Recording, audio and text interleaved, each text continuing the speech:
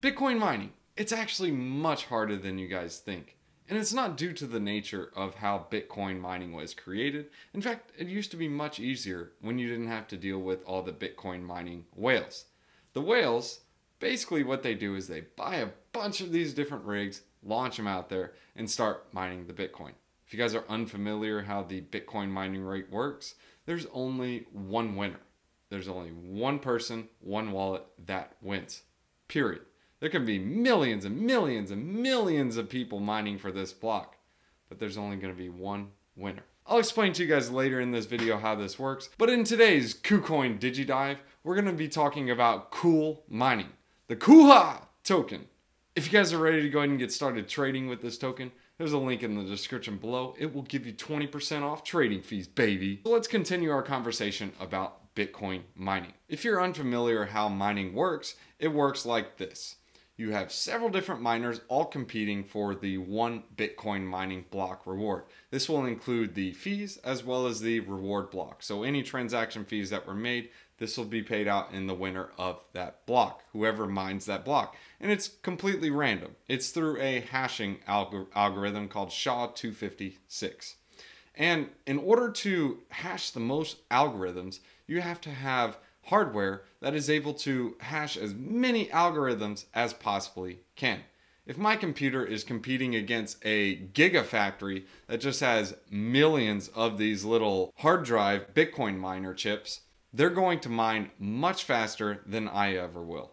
And if you guys go to these factories, if you ever get the chance to, they're super hot, they're super loud, they take up a boatload of energy, and boy, do they always have issues. If you guys want to try the experience, why don't you go and buy a Bitcoin miner and then pop a couple breakers and then see what happens. Back in the day, Bitcoin mining, maybe a little bit of fun. Your computer might be a little bit slow. Today, nah, bro, you can't do it on your computer. You just can't because you're competing with the whales. Yes, they do have other mechanisms involved, like having a mining pool, but then again, that adds another party of trust how can you trust that pool that you're mining for is going to pay you out? Throwing in and spending so much money on your energy bill just to get this mining going, how do you know they're going to pay you? Just a couple things to keep in mind. Now, this is where cool mining comes into play.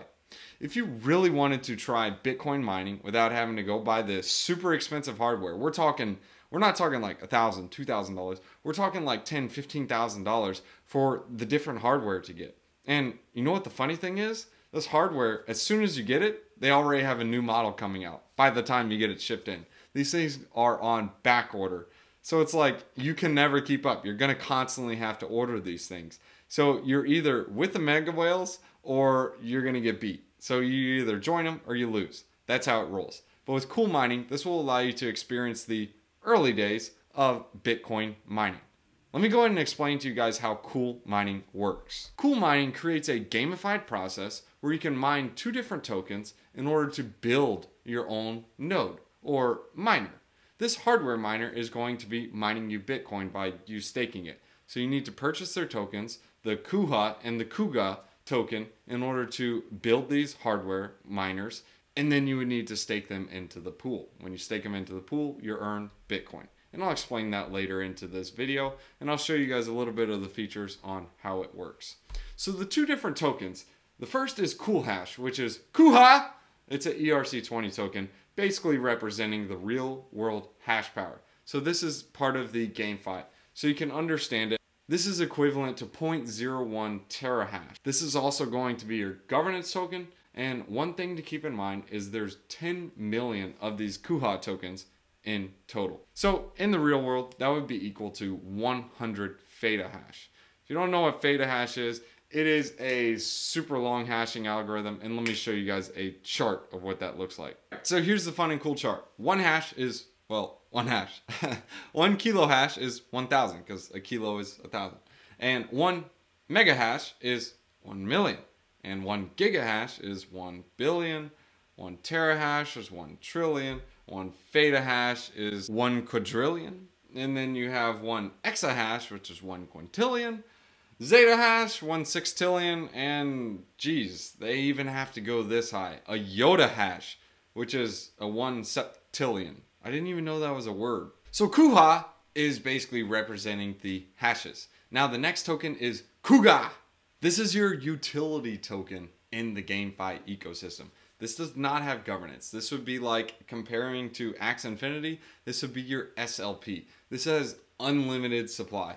This is the mining reward that the community is paid when they mine blocks. So as you're mining blocks, you're getting the COOGA token. And the COOGA token is used in order for the mining rigs to operate. So it's kind of like your gas and your energy for the ecosystem. Let me go and explain to you how the flow of the game will work, and then I'll show you guys a couple features on the website. The miners exist as cool miner NFTs. The players can either mint a NFT or a cool part NFT. So the cool parts are going to be added to your hardware. You can also purchase other minted miners on the Cool Mart. This is kind of like your little marketplace for all these different miners. In the cool mining ecosystem, as you guys can see right here, I'm to shrink my face, you guys can get different accessories. Like you can get a control board, a cooling system, a power supply, and you literally click on each of these things and it'll say approve cool hash. So you need to have the cool hash token, which is COOHA. Remember, the COOHA token is the one that has the 10 million supply and it's your little governance token and it's also used inside the game. So again, to recap, you can add different parts like the hash board, the power supply, the cooling system, the control board, and all these parts make up a miner. So in order for you to get a miner, you have to purchase all four parts and they can't be duplicated. So they have to be different parts and you merge them together boom pap, what the snap, you now have a cool miner. And the miners are not all miners. They all have differences. So if you have a stronger power supply or a better power supply or a better hardware, a better hash board, a better control board, any of the parts that are more rare or just better, it will make your miner better. So if you have a bunch of common ones built together, well, you have a common miner and it's kind of poo-poo against like a rare or a more higher class. So as you guys can see here, uh, this is the landing page on the website. Like I mentioned to you guys, you have the miners lab here. This is where you're going to create the different NFTs. The mining pool is where the sauce is at. This is where you're going to approve your cool hash and then you're going to be able to claim Bitcoin after it's going through the mining. And you can also go ahead and claim your rewards. And the coolest part about this is you can actually sell the cool hash token and the cool gas token if you'd like. This is listed on the Mojito Swap exchange and you can actually sell your earnings here. So when you're getting the cool mining token, this is going to be used to set up your hardware in order to mine your Bitcoin. And then you also will get the COOHA token, which you can use this to sell or keep energizing your hardware. Because remember, you got to supply energy for the thing. So as you can see here, this is the summary. Cool Mining is an on-chain simulation game based on yada yada yada. It's a GameFi protocol that's built on the narrative of Bitcoin mining. So this allows you to play with the Bitcoin mining without having to order the hardware, have the super slow internet, and just the annoyance of it in general. Here's a couple of the pieces of what they look like just so you guys can see how their NFT creation is. And here are some of their partners. They have Canaan, they have WhatsMiner, they have Bitmain, they have KuCoin Pool, Mojito Swap, and KCC. Here are two of the main guys behind the team. It's Terry Johnson and Antonio Landi. These guys are actually both behind North American Mining. So these are the guys that are actually out there mining the Bitcoin and doing the actual thing, like buying the hardware, spending the energy, setting up the Bitcoin mining factories in order to get this done. So before the, we end this video, I'm going to show you guys two things in the white paper. The first is the cool gas and the cool hash token. Like I mentioned to you, this is a unlimited supply. Just so you understand, this is going to be your mining token reward in addition to your Bitcoin, and this is also your energy consuming token. So you need the cool hash token, which is for setting up the hardware and the miners. You can't earn this token. This is something you have to buy, and this is part of the governance. This is going to equal out to a total of 10 million tokens. There will never be more, so it has a cap. Or COOGA this is your token that you're earning and you have to spend in order to keep playing the game. The one thing I didn't talk about so far are the mystery boxes. These are actually pretty cool. You have the essential hash parts. These are going to be different boxes that just have a random NFT. That will include a NFT for the hashboard part that you guys are going to be using for the miner. And then you also have the mystery boxes, For the elective hash parts, this is going to be like your control board, your power supply, and cooling system. So it's not simply just going out there and buying a cooling system, a power board. No. I mean, yes, you can do that on the marketplace, but if you wanted to go out and mint it, you can't just say, I want to mint this, I want to mint this, and I want to mint this. You have to spend 18 cool hash and then see what you get. If you get something good, great. If you get something you don't want, well, gotta try again. So it's got a lot of features involved with GameFi and with the experience of Bitcoin mining. What are my overall thoughts on CoolHash? I think it's a really good hands-on experiment in order for people to understand how the Bitcoin mining process works, at least to an extent. Of course, you don't have to set up the hardware, which is a fun thing. I mean, if you guys have set that junk up, man, it is annoying because if you set it up wrong or you set up the wrong wallet address, you aren't getting the rewards. And if your miner breaks down, you got to buy a new one.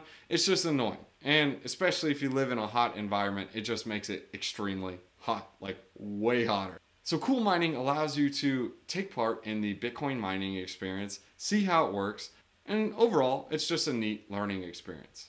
Now, as for the tokens itself, it is similar to the strong node setup or the node token setup to basically where you're buying these tokens in order to play a part in the game. So it's not actually mining Bitcoin. But it's still a very fun experiment, just as long as you understand it's not actually how you mine Bitcoin. It's definitely a fun concept to play around with.